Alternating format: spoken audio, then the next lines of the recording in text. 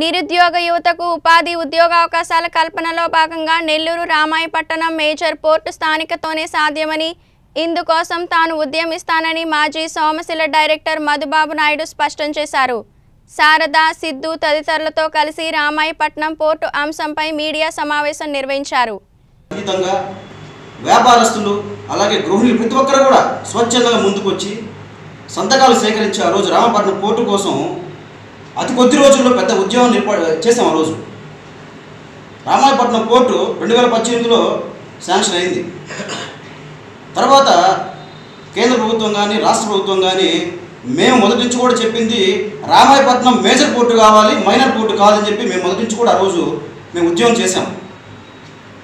రెండు వేల పంతొమ్మిదిలో ఇక్కడ రాష్ట్ర గవర్నమెంట్ మారిన తర్వాత రెండు వేల ఇరవైలో మరి ఎందుకని రామాయపట్నం పోర్టుని రామాయపట్నం మినీ పోర్టుగా దిగజార్చాలో అర్థం కాని పరిస్థితి.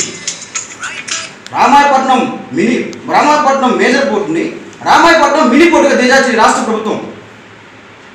వాస్తవంగా మనం చూస్తూనే ఉన్నాం ఈరోజు రాష్ట్రంలో.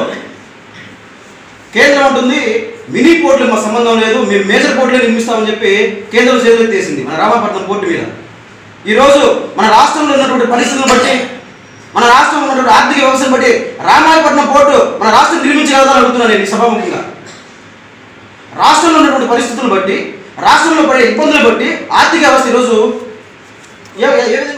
నేను ఒక బాధాకరమైనటువంటి వార్త విని తర్వాత నా ఆవేదన వ్యక్తం చేయాలనుకున్నాను. ఈరోజు మీడియాలో చూసినట్టయితే రామాయపట్నం పోర్ట్ అనేది అది హుళక్కే అనేటువంటి పద్ధతిలో వార్తలు వచ్చినాయి అన్ని పత్రికల్లో కూడా చూసాము. మీడియా అంతా ఫాలో అయితే ఇదే ఉంది. తేల్చేసింది కేంద్ర ప్రభుత్వం. క్రమక్రమంగా మేము ఎంత ఆశ పెట్టుకొని రెండు వేల పద్దెనిమిదిలో Ramayanapatnam port cum shipyard అనే ఆ సాధన కమిటీ అనేది ఏర్పడి మేము మొత్తం కావాలంతా ప్రచారం చేసాం ప్రతి విద్యాలయాల్లో ప్రచారం చేసాం సంతకాల సేకరణ కోసం శిబిరాలు వేసుకున్నాం. ఇన్ని చేసిన తర్వాత వస్తుందని మేము ఆశించాం. అదేవిధంగా అక్కడ శంకుస్థాపన కూడా జరిగింది. మన రాష్ట్ర ప్రభుత్వం మారిన తర్వాత ఇంకా చాలా హోప్స్ పెట్టుకున్నారు ప్రజలు. కానీ అదంతా ఒమ్మైపోయింది. మరి ఎందుకని మన రాష్ట్ర ప్రభుత్వం మాట్లాడట్లేదు దీని మీద? ఖచ్చితంగా రాష్ట్ర ప్రభుత్వం స్పందించాలి? మరి మేజర్ ప్రాజెక్ట్గా ఉన్నటువంటి దాన్ని అది నాన్ మేజర్ ప్రాజెక్ట్గా ఎందుకు మార్చారు? ఎవరిని అడిగి మార్చారు? మేజర్ ప్రాజెక్ట్ అయితేనే కేంద్ర ప్రభుత్వం మేము టేకప్ చేస్తున్నాం.